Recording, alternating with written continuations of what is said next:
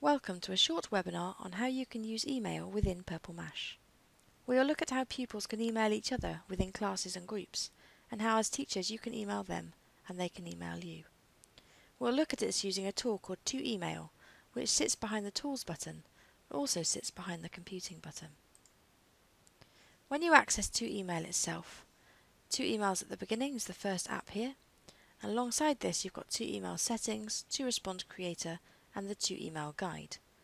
All of these can be seen when the teachers log in, but not when the pupils log in. Underneath two 2Email and the support at the top, you've got online safety and 2Respond and famous people 2Responds, and we'll come back to these later. I'm going to start off by looking at the 2Email settings that you can access as a teacher. When you open these up, you'll be able to access the classes that you are associated with or set the settings up for individual children within that class. If I select the whole of Robins, I'm going to choose Key Stage 1 as their interface, leave pupil-to-pupil -pupil emails require approval switched on, and allow emailing within the class and to staff members, and click on Save. Okay, if I click on the cross there and click on the cross there, I can now access 2Email. Okay, what you'll see is we've got 2Email now in pupil mode. This is what the Key Stage 1 interface looks like. You've got a large tab for the inbox and for the address book, and you've got a, a little letter with a plus on to the right hand side that will enable you to create an email. What I'm going to do is switch the email interface into teacher mode. This will show us a bit more what the Key Stage 2 interface looks like. However, we've got the extra eSafety options built in, such as awaiting approval, rejected and reported emails. If you have pupil-to-pupil -pupil emails require approval switched on, the email will come via the teacher within their class before the recipient receives it. Once the email has been sent, it will sit within this awaiting approval folder until a teacher approves it to reach the recipient. If the teacher does not approve it to reach the recipient, it will go into this rejected emails folder, as you may want to keep it for evidence and a discussion with the child. The third folder here is reported emails. When a child receives an email, they have a report button on the bottom, and if they don't like the content or are uncomfortable with the content of the email, they can hit report. If I go back up to the top here, one of the eSafety features of 2Email is to switch user, and I can very quickly click on a user in the class and switch to be that user. Now what you can see here is there is an email from the teacher about keeping passwords safe. If the child was to read that email and they were uncomfortable with it, this button down here is the report to teacher button and that would pop it into that folder in my inbox. So we'll return now to the teacher's inbox and we'll have a look at composing an email to send to children. If I click compose at the top, it's quite clear here who, who the email is coming from and who the email is going to. And under to, I can start typing in here and Purple Mash will make a suggestion for me, which I can select. If I'd like to remove that selection, I can click on the cross. I can click on the address book here to select multiple users or filter by class or by group. I can also filter by pupils or staff. I'm going to select Robins class and I'm going to tick everybody associated with Robins class and add them to the to list. If I wanted to, I could also enable CC. Okay, now I'm happy with that, I can start with my subject. Garden. Once I have written my subject and my message, and added any emojis I would like to add, I can scroll down and I can either save it to draft, attach work from Purple Mash, or attach a picture. If I am happy, I can click on send, and that will send that email to everybody in my recipients folder. It is popular when teaching email, online safety, and sometimes for great quality literacy responses, to compose an email and send it to the children as if you were a character. When I click on Compose, I can click on who the email is from, and I can select one of our preset characters, perhaps the gingerbread man or the genie depending on what book I'm reading. If a character that matches your topic or theme isn't there, then you can always create a character by clicking on Create Character. You could pop the name of the character in here, and then select Icon. Once you're happy, click on Use this character and that is the character the children will receive the email from. Once you have decided who the email is coming from, you can search and select your class. Here we go, I'm going to add them in and click on OK. enter the subject, greetings from Narnia, and pop your message in. Okay, at the bottom here then you can again save to draft, attach work, attach a picture, or simply send. Off he goes.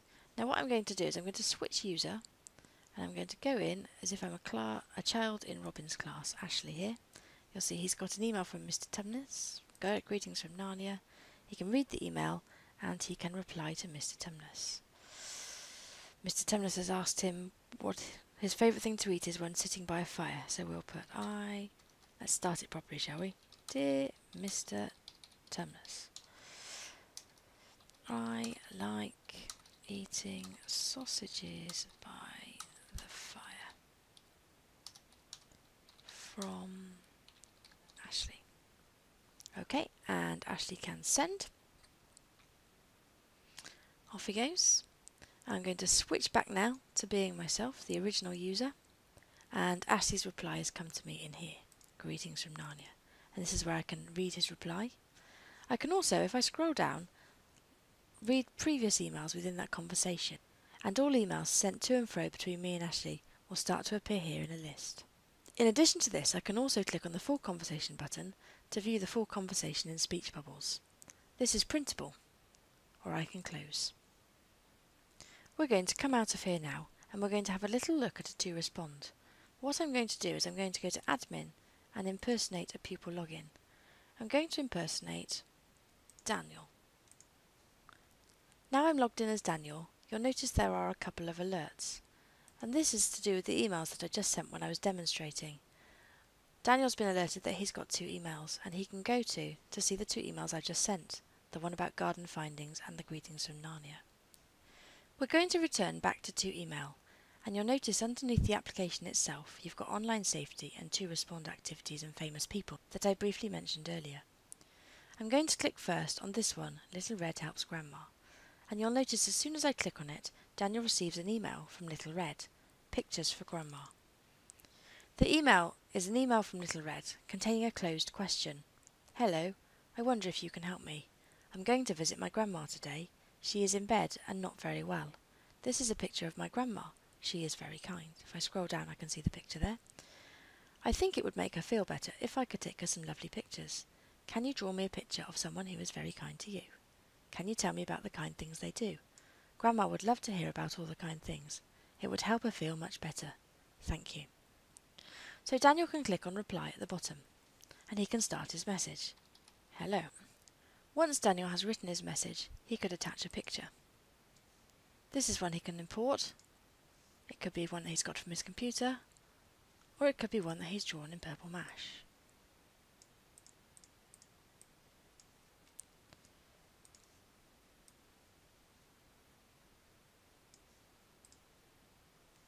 Once he is finished, he can click on Send.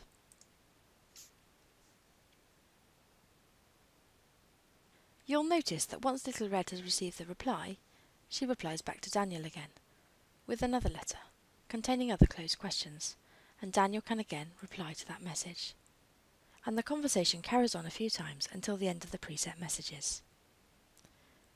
We are back into email now as the teacher, as opposed to being Daniel, the child in the class. And what I can do now, if I scroll down through the 2Respond activities, is choose one, for example this one on sport, to set as a to-do or a task for the children, meaning they won't have to navigate through Purple Mash to 2Email and the sport 2Respond to begin. Once I click set as to do, I can edit the title and description if I wish, or set the dates between which this will appear in their to-do list. Once I am happy, I can click on next and select the class for which I want that to-do to be set.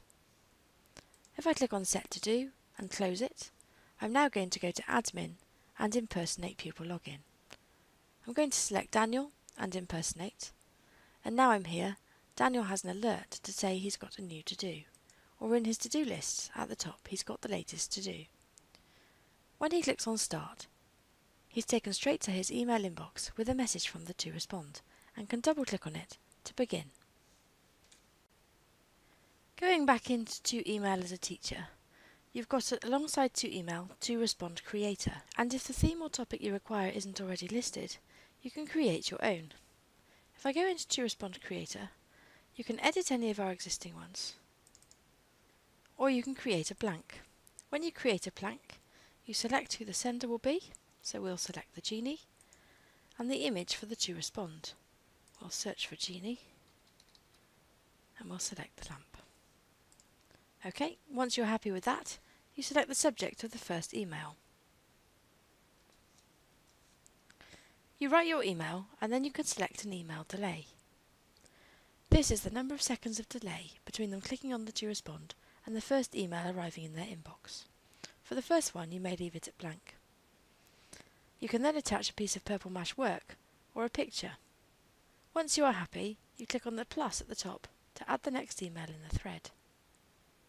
Okay, so that's the first one we've put in. Here's the second one. You write the content of the second email, the email delay between them sending their reply to the first one and the second one coming in, attach a work or picture, and again, once you are happy, you can click on the plus and it will add the next email. When you have finished, you can save your 2Respond into your My Work area. We'll call it Genie to respond and save. And once you have done that, you can set it as a to-do or a task for your children using the World button at the top, the Share button.